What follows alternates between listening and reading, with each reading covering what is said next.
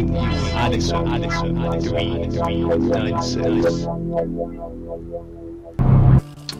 Hello guys, uh, welcome to this video, welcome to my channel, uh, for any of you new new guys out there, make sure you subscribe if you uh, like what you see. But um, yeah, welcome to this video. Um, it's basically a, a, game where I go flawless in jets, you probably can tell from the title. Uh, make sure you check out the, the, the, sorry, make sure you check out the description below as well. Um, so yeah, you can see my, uh, I'm on my own server here, but I, I don't have any, like, I'm, ju I'm just joining it, I don't have any um, communication with the players or anything like that. I like to go on my server to record because um, a lot of my, you know, YouTubers know that I have my own server and they go on there and my subscribers are, are on there quite often, so I like to, um, even if I, you know, don't know it, um, or if they don't know it, it's nice to get them in the videos as well. So, um, yeah, it's unedited. I, I jump into the jet straight away quite luckily. Um, I use the assault class because I don't usually land in repair, I always bail out, so... Oh yeah, this is um, Nouvelle Vague, or Vague. Um, Ever Fallen in Love. I've just chosen random tracks that I, uh, I like to play, so... To myself, so I hope you enjoy them as well. So um, I'll talk first about the, the class setup and then um, tactics I use. I'm using um, the ECM jammer, air radar, and I don't know what else am I using. Oh yeah, this is bad lag by the way. I get I suffer from terrible lag, but only for about another 10 seconds. Oh, here it sorted itself out. There you go. And I don't know what else I'm using. ECM jammer, stealth, and I've got um, below radar unlocked. And there's kill number one. I only get 10 kills, but I do get a lot of disables, um, and you can tell I do a lot of support, so I've had uh, comments recently saying I don't support the ground troops enough, and I try to do a lot more of that. And also, I never, I never, well, I don't think I do. I, I tried to make a big effort not to spawn kill at all because um, I get comments of, of that as well. So you can see later on in the video I actually let a jet take off and well I forced him to take off and give him a hint but it's clear that I'm not going to take him down so. Um, I also want to show off like the beauty of the game and um, also just just the sort of things you can do as a lone wolf pilot. Um, I've got you can you can see my microphone obviously and uh, I'm not in a party with any people.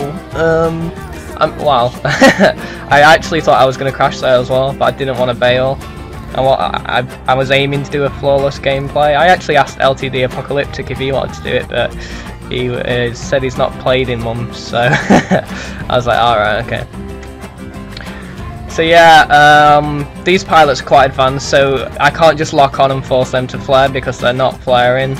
Um, this guy's bailed and I didn't realise, but oh well. I still survived. Um, so just whilst the song's breaking down, um, the next one is Owl City and it's Fireflies. Owl City is the band and Fireflies is the name. So yeah, um, I'm letting them, you know, engage us first. Um, I don't have any communication with the other pilots though, so I, am not telling them. I think they do spawn kill a bit, but nice little um, backwards loop there, or downwards loop, sorry.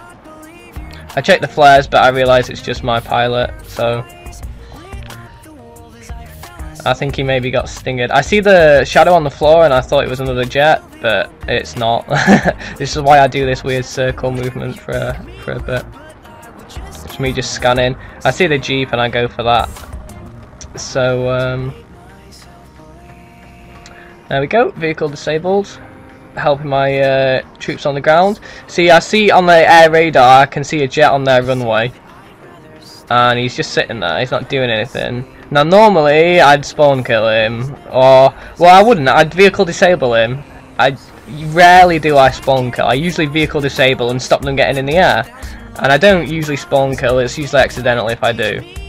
So he's still not moving. I highlight him, but there's no one else to take him out. So I just nudge him a bit, nudge him a bit more, and I can see his boosters there. They've activated. I know he's taking off and I fly away. I give him enough time to get away, enough time to you know repair. But I also don't want him to be right on my tail, so I you know I turn into the sun and make sure I'm coming from the sun. So it gives me you know a bit of a it's not an advantage, but it makes it, you know, just as if we were fighting, and instead of me having to force him to take off.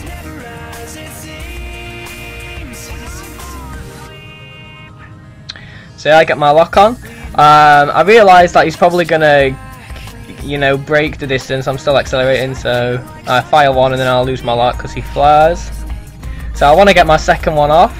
So I wait until I fly through the flares. That's an important tip you have to um, do. You have to make sure you fly past the flares, or it's like here, look. Then I can then I can shoot because I've got nothing to distract my flare. Nice bit of braking there allowed me to make that maneuver nice and easily. And I had a comment from somebody who's a PC player. Um, I forget his name, something Twix. Um, he's been trolling me recently on a Battlefield um, video I've done, saying I'm a shit pilot. These are mainly just response videos to him, really. But um, he commented saying, "Oh, you sh you shouldn't um, boost around a corner. Everybody knows that, but." It's different on PC. Yeah, I I've played Battlefield 3 on the PC, and no, you don't ever boost around a corner. Um, but on Xbox it's different. You, you can get advantages from boosting around the corner. It does at certain points. Like I found out that 300 is the perfect speed to be going. And if you're slowing down, or if you're low to the ground, for example, and you slow right down, your wing, you'll lose your roll ability, and your um, wheels will come out, and it thinks you're trying to land when you're not, and you need to boost around the corner.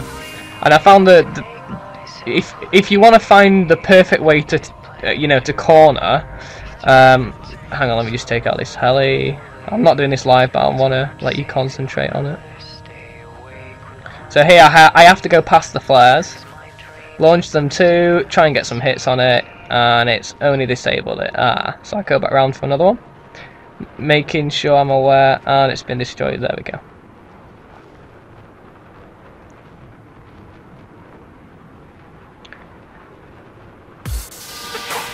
So um, this song is DJ Fresh and it's Gold Dust and it's a Flux Pavilion remix and uh, this is going to be the last song it's going to play us out.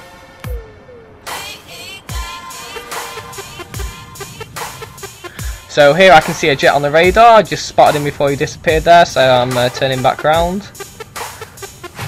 And I do like to fly in first person quite a lot. Um, if you use the D-pad you can um, look around your cockpit if you if you hold down if you hold down the button down, if that makes sense, um, down on the D-pad, if you hold that button down, then you can look around and you can actually, uh, I don't know if you've seen me doing it, um, but you can, you know, look above you, look behind you in the cockpit, the view it gives. I think it's just a more realistic game. Um, you know, I'll zoom out to get a, like a, a nicer picture if I have to, or if it's, or if I'm trying to view a kill um, that I've gotten, you know, to, so you guys can see it. But most of the time, I'll fly in first person. I think it's a good thing to do. But yeah, um, the secret, which I've uh, just left you guys hanging with, um, the secret to the perfect turn, I found on Xbox. Um, the, the thing to do is to get yourself around the 300 mark, um, and then brake and enter it. So turn, obviously, you know, you roll your plane, and then brake and pull down on the stick at the at the same time and then when you feel yourself, you'll feel yourself come to the perfect turn point. Uh, this this is not a good example this turn because I'm doing a roll at the same time to try and get behind the plane, which you see me do there, and then I do another roll so I can get just behind him at the right speed, but he's decided to turn, so yeah, time to go after the heli instead. So yeah, so what you're doing is you're you're turning and you'll find the you, you'll find the perfect turn point. So I'm turning, there's the perfect turn point. It's really fast.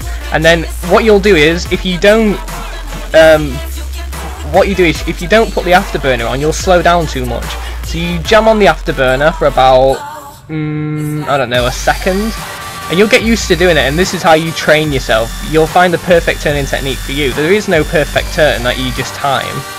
Um, you know, you have to find it yourself. But this is just the easiest way to start it. So I'll start again from the beginning because, you know, I've probably I've confused myself. probably confused you guys in the process. So the perfect turn, you um, say you're flying straight, you roll your plane to the side and then pull back and you hold brake at the same time. that allows you to slow down. You'll find your perfect point, and when you slow down just enough, if this is literally in like in like a second, when you slow down just enough that you're starting to slow down too much, you put on your afterburner. Leave that on for about a second, if you're still going round your turn that is. Leave that on for about a sec, because you know, sorry, I'm going on tangents here, but you know obviously sometimes in dogfights you're going to be turning and turning and turning. So you want to leave that on for about a second, and then you want to slam on your brakes again, and just repeat the process, but you'll find your own, you know, perfect thing to do. So um, yeah, ECM Jammer, um, definitely worth it over over flares.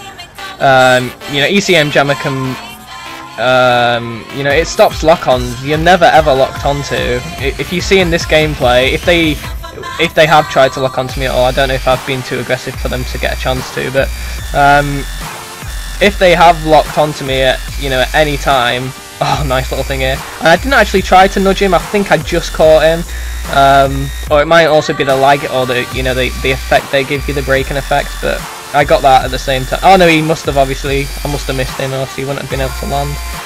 There we go. He didn't even try and get out of his vehicle, so, or make it to anywhere, so. Shame on him. nice, So he got me to blow two missiles doing that, which was very good. Very good timing for his flares.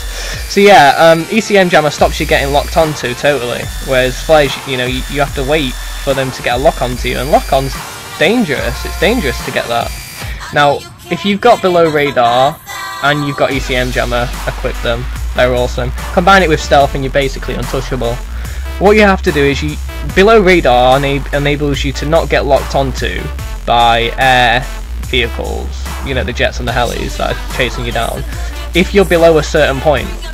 So what you do is you, you keep your combat relatively low if you can, um, and then if you if you're getting locked onto, you apply straight away. You can apply your ECM jammer, and then what you do is you dive right down to the ground as you as you're being you know locked onto, and the ECM jammer will disrupt that lock on.